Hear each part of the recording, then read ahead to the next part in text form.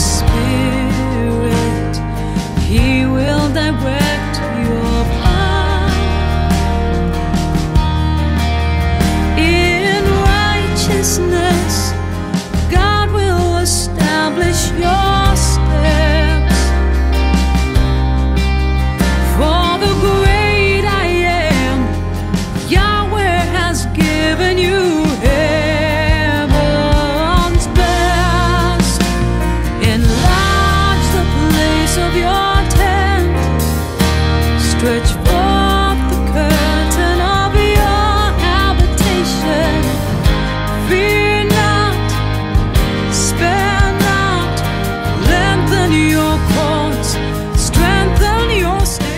family. Greetings in the wonderful and precious name of Jesus Christ, our Lord and our Savior.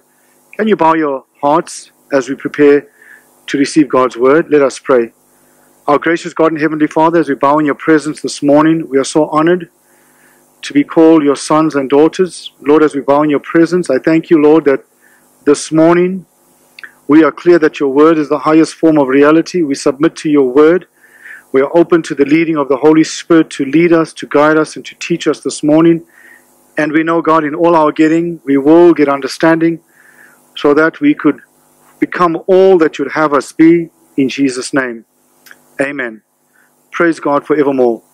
The theme that we have selected by the leading of the Holy Spirit for the year 2020 is the theme Kingdom Manifestation. And our key verse is found in John chapter 2, verse 11. It says there, This beginning of signs Jesus did in Cana of Galilee and manifested his glory, and his disciples believed in him. And this is such a significant portion of scripture because Jesus displayed the manifestation of his glory. And as sons and daughters of God, we thank God for God dwelling on the throne of our hearts. But there's more to it than Jesus dwelling on the throne of our hearts. Jesus' heart and his desire is to be manifested through us. And so we believe that as we go into this year, and not just this year, but this decade, that there will be a significant manifestation of God's glory through every son and daughter.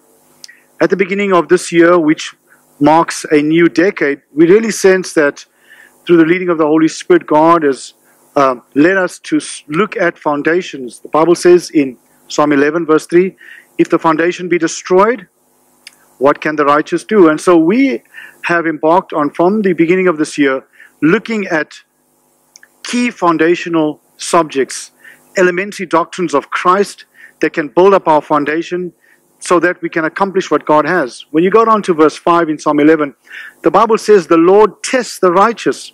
And so, what is God testing? God is testing the foundations. And so, we've started by looking at foundations. We started uh, by looking firstly at identity, because without knowing who you are, whose you are, and what's been given to you, you will never fulfill your God given assignment. And, and we thank God for those teachings. We've now moved on and we started uh, the second part of it where we're looking at faith to overcome. Faith to overcome. The Bible says in Luke chapter 18, verses 8, it says there, I tell you that he will avenge them speedily. Nevertheless, when the Son of Man comes, will he really find faith on the earth? And very interesting to note here that God is not looking for a church.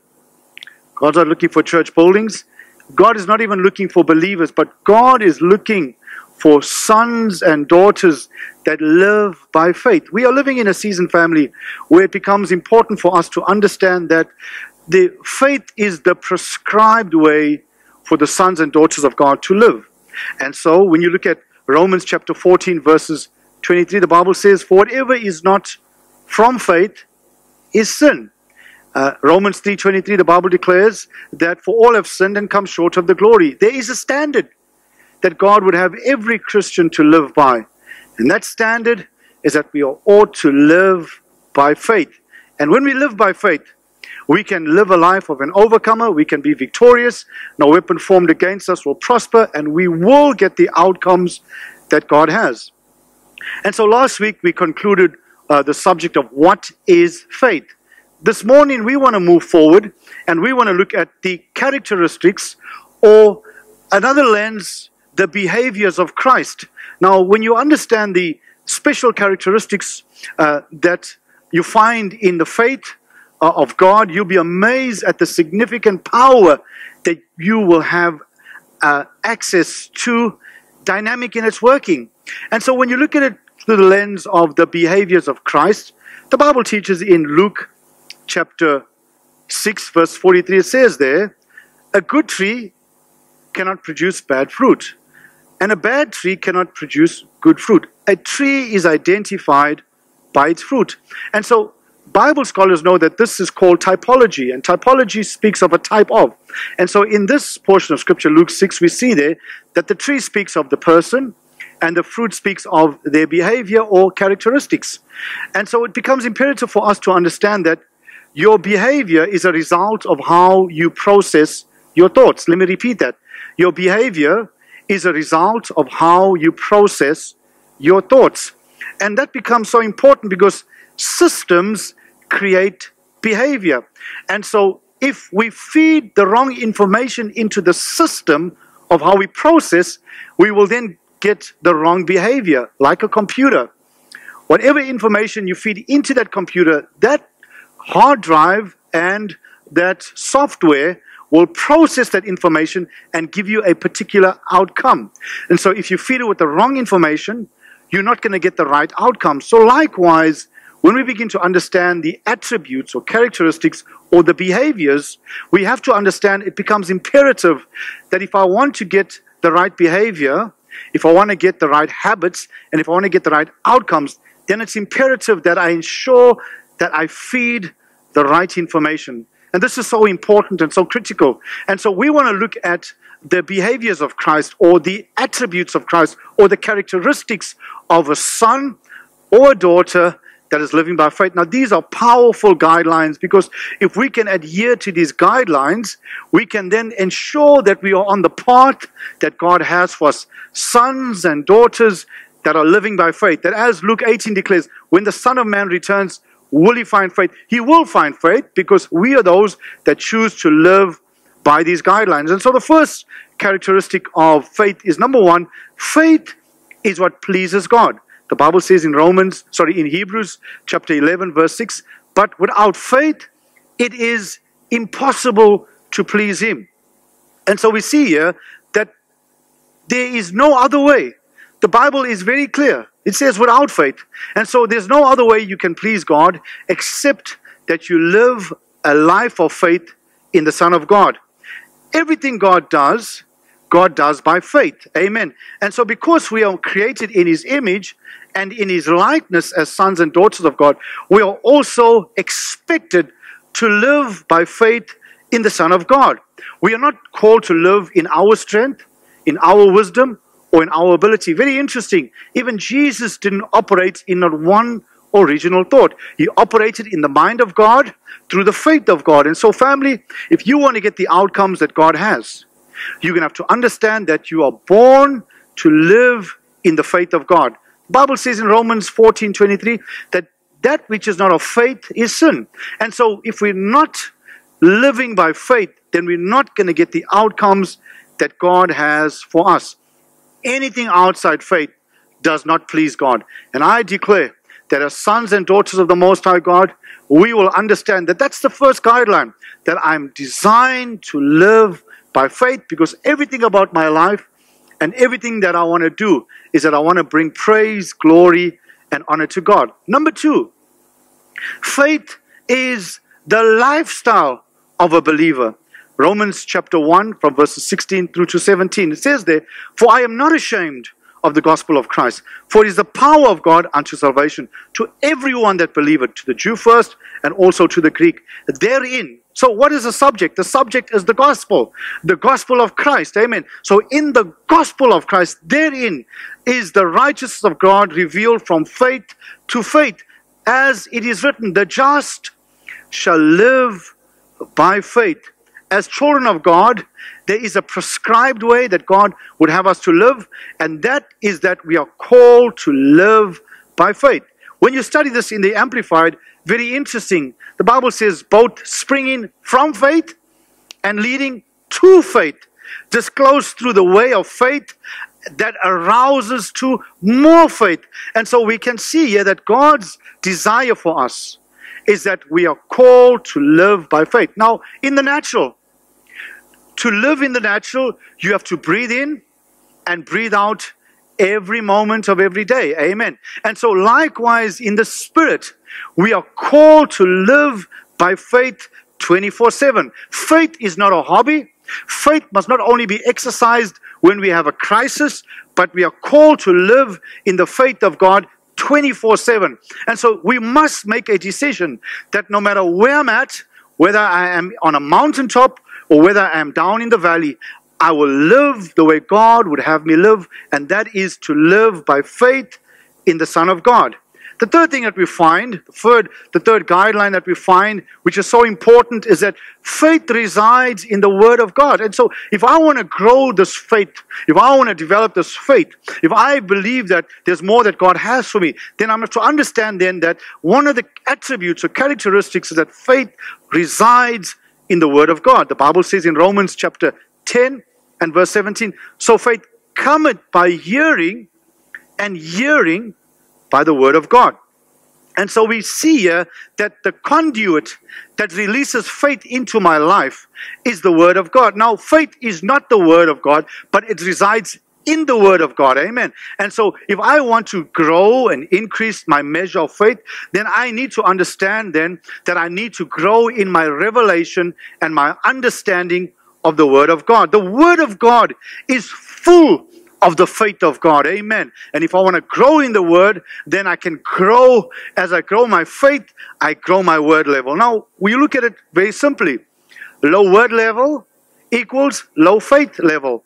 High word level equals high faith level. No word level equals no faith level. And so I need to be mature and I need to I need to reason with myself to acknowledge the measure or the level of faith that I'm operating in, and then make a decision that if I want to grow my faith, then I must grow the word level in my life. And the more I grow the word level, the more I can get the outcomes that God has. The fourth measurement that we can look at is that, is that faith is valuable and precious.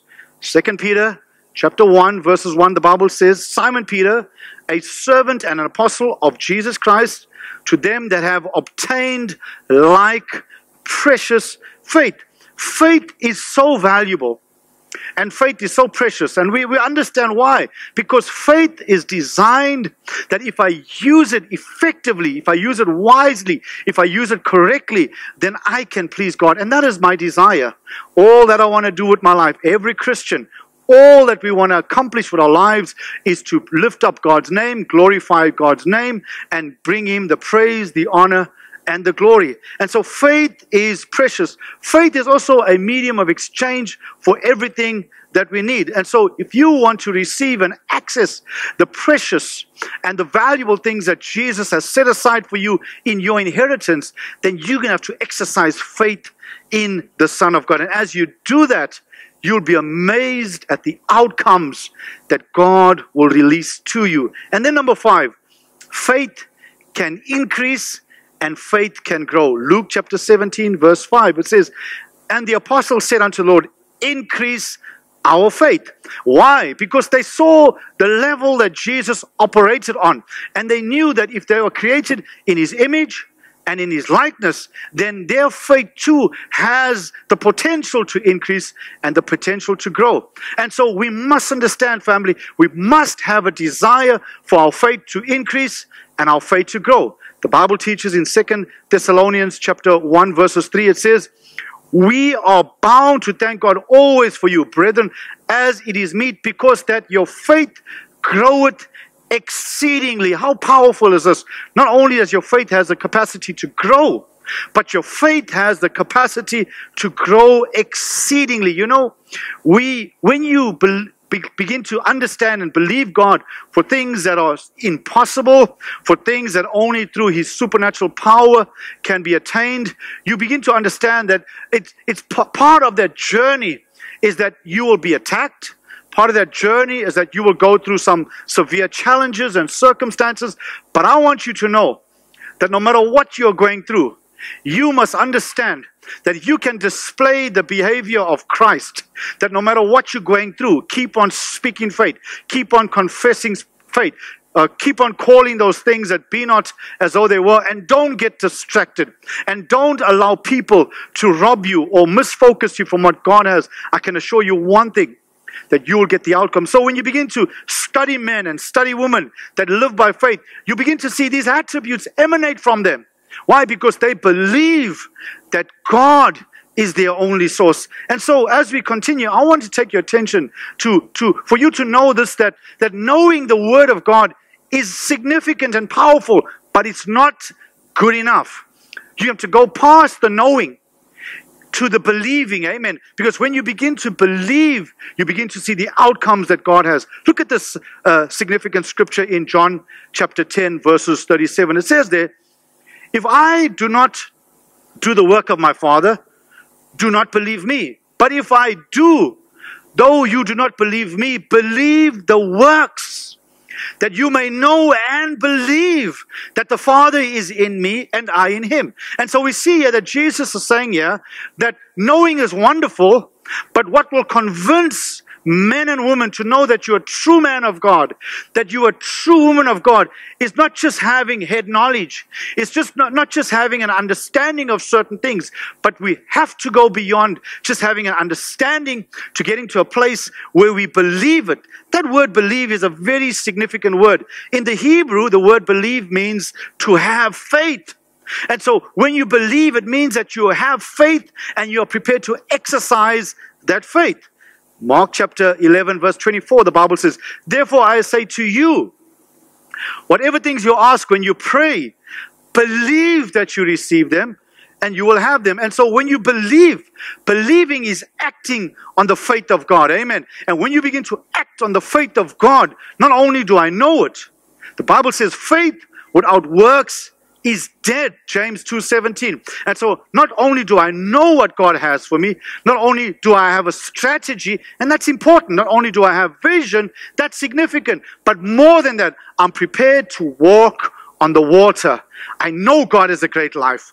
I know god has significant stuff for me. I know god has breakthrough for me. I know god wants to show himself strong on my behalf. But more than that now uh, father i am ready to stand on the word of God and activate this word and act on this word and do what you would have me do. When you get to that level, believe you me, family, you'll be amazed at the outcomes that God has for you. Look at the Bible says in Matthew chapter 12, verses uh, 37. It says there, For by your works you'll be justified, and by your works you'll be condemned. And so as you begin to work the word of faith, in your life, as you begin to believe that God will do this for you, you become more freer. Amen. You might not be as free as what you want to be, but I can assure you one thing as you live by faith, as you exercise your faith, you will become more freer, more liberated, and have more zeal and confidence knowing that what God has for you,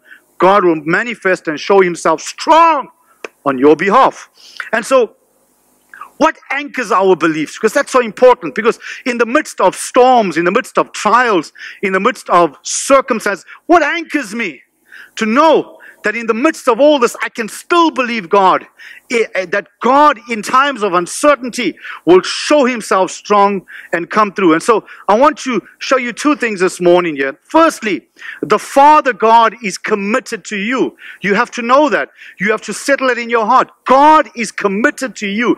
God is committed to me. And so, if you look at Psalm 91 from verses 14 to verses 16. I want you to see something very interesting here in the psalm. You'll find here that the phrase I will is mentioned six times.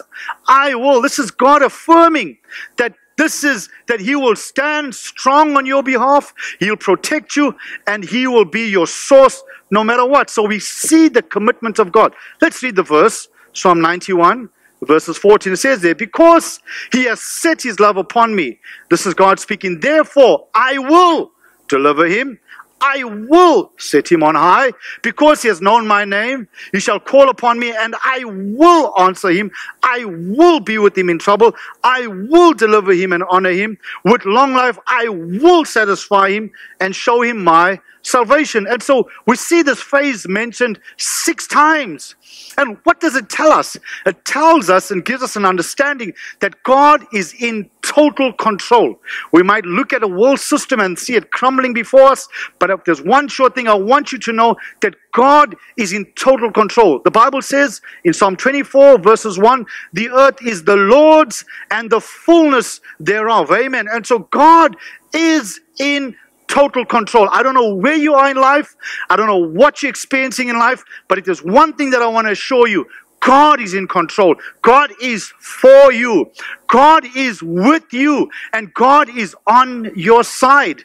Secondly, not only is God committed to you, but Jesus is also committed to you. And very interesting, in this portion of scripture, I want you to see on six occasions the word I is mentioned. In, uh, in Psalm 91, we saw that I will, speaking of God, mentioned six times. And here in John chapter 10, verse 17 and 18, we see the word I mentioned six times as well. And so, very interesting, when John 10, we know the verse, John 10, verse 10, the Bible says, uh, The thief cometh not but to kill, to steal, and to destroy. And then Jesus says, But I have come that you might have life to the full until it overflows. And then you come down to verses 17. So Jesus has guaranteed us that we will have life to the full till it overflows because he has defeated the enemy. Now, when you look at verses 17, it says there, Therefore, my Father loves me because I lay down my life that I may take it again. No one takes it from me, but I lay it down of myself. I have the power to lay it down, and I have the power to take it again. This command I have received from my Father. And so we see again here that Jesus is in total control. The Bible says in Matthew chapter 28, verses 20, the latter part says, Lo, I am with you always. I will never leave you and I will never forsake you. And so I want to encourage you, family. This morning, you're going to have to understand who you are as a child of God. To have to understand that knowing truth is wonderful and we must have a hunger and a knowledge. Amen. Because without knowledge, we will be destroyed. But we have to go beyond just knowing about or knowing truth. We have to get to a place where we believe. And the word believe, as you know, it means to have faith. We have to be those sons and daughters that can activate the faith of the living God in our lives. And as we activate that faith, we will get the outcomes that God has. We are ambassadors placed on the earth to represent the kingdom. And as we represent the kingdom, we will represent it effectively and accurately. And as the Bible declares in Luke chapter 18 and verses 8, when the Son of Man returns, will he find faith? I declare that we are a company of believers, that we not only have knowledge, but we have a belief system within us that these attributes and these behaviors of ours will conform to the pattern of the Word of God, the blueprint of the Word of God. And as we behave in a Christ like manner and a Christ like attitude, we will get the outcomes that God has for us. And so I release that over your life. I release it into your family and I declare that Jesus Christ is Lord. This morning, you might be watching this broadcast or you might be listening to it uh, at home and you maybe you don't know Jesus. Maybe you've never been exposed to Christianity or maybe you've been in a place where you were discouraged and you your relationship was not right with Jesus. We want to give you the privilege this morning, right where you are. You can, in your lounge, wherever you are, even if you're driving, you can just say the sinner's prayer and you can receive Jesus as your Lord and Savior. And so I want you to bow your hearts as you repeat this prayer. Say, Dear Lord Jesus, this morning I open up my heart. I receive you as my Lord and my Savior. I repent from all sin and unrighteousness. Today I declare that today is the first day of the rest of my life. I am set free. I am a child of the living God in Jesus' name. If you've prayed that prayer, Congratulations. The whole of heaven rejoices because you've come home to your Father. And so I want to pray for everyone out there, every family, no matter what we're going through, no matter what the circumstances are. We have to not just know about this great God, not just know about this great uh, revelation knowledge and, and, and His Word, but more than that, I want to encourage you. We have to be true believers. And as we saw, the word believe means to act in faith, to operate in faith. And so I want to pray over you that through this season, no weapon formed against you will prosper. You will not be defeated. No sickness, no plague will come nigh your dwelling, but you will live and operate in the faith of God. Receive this prayer. Father, in Jesus' name, as I release faith into every family, into every person, I decree and declare that Jesus Christ is Lord. I thank you, Father, that you are in total control of the earth. As we looked in your word in Psalm 91, God, we began to see that you are in total control of the earth. God, as we looked in John 10, verse 17 and 18, we began to see that Jesus, you are in total control of the earth. So we surrender our lives to you.